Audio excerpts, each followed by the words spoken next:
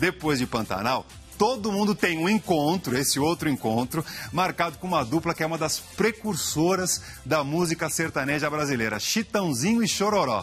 Eles vão ganhar um especial comemorativo pelos 50 anos de carreira. Quem dá mais detalhes é o apresentador do programa, Pedro Bial, e os diretores Giancarlo Belotti e Mônica Almeida. Pode rodar.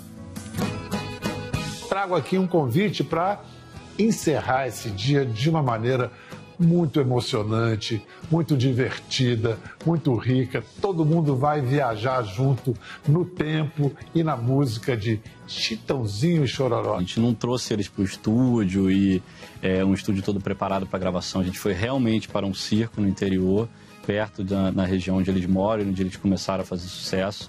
E dentro desse circo a gente montou uma estrutura para captar um show. E aí é uma estrutura com oito câmeras, com grua, iluminação. E olha, tem música, tem conversa em volta da fogueira, canções que marcaram toda essa esse período de 50 anos da história de Chitãozinho e Chororó, que também é a história do Brasil, é a história de cada um de nós. A gente armou toda, toda a situação de material de pesquisa, de fotos, de imagens, e eles entraram naquele universo e foram se surpreendendo. E foram olhando para as coisas e lembrando da própria vida. Olha, você vai gostar desse programa, vai se divertir. Chitãozinho e Chororó, 50 anos, logo depois de Pantanal. A gente se vê lá, hein? Sem dúvida, a gente vai se ver, mas para dar água na boca, então a gente decidiu mostrar uns trechinhos aí do especial. Vamos ver? Pode rodar.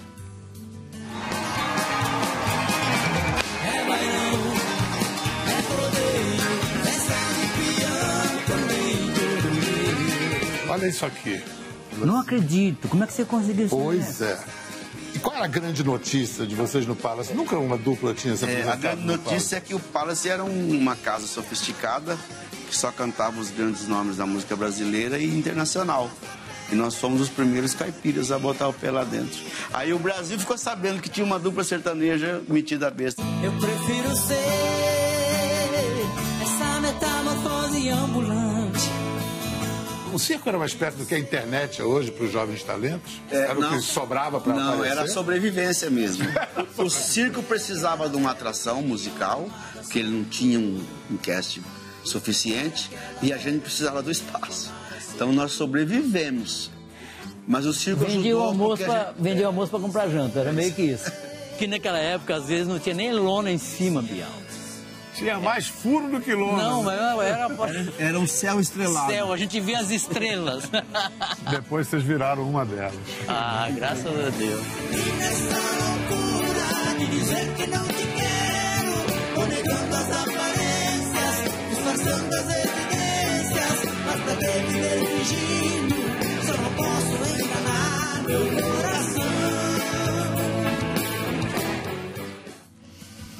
Ah, que delícia. Deixa eu chamar a turma aqui. Vem pra cá, turma. Entra aqui comigo, vai. Chama o pessoal aqui do estúdio pra cantar esse clássico, né? Chega de mentiras. Vem cá, Cauê. Chega de mentiras. Desejo, eu te quero mais que tudo, eu preciso dos teus Rapaz. beijos, eu a minha vida, pra você fazer o que quiser de mim. Só quero ouvir você dizer que sim, diz que é verdade, que tem saudade de quem? Vem cá, gente. Vem cá, Maria. Vem cá. Vem, Maria. Vem cá. Olha, então vocês não percam. Diz que é eu, verdade. eu chamei a turma, veio só o Cauê. Vem cá, Maria. Vem É pra tinha. cá. Acho eu Tô sem moral nenhuma, né? Vem cá, ó. Depois do Pantanal, então, esse especial do Chitãozinho e Chororó promete. É ou não é? Promete Vamos muito, com certeza. todos, né? É, o hino nacional sendo cantado aqui Tem que hoje. cantar, tem que cantar.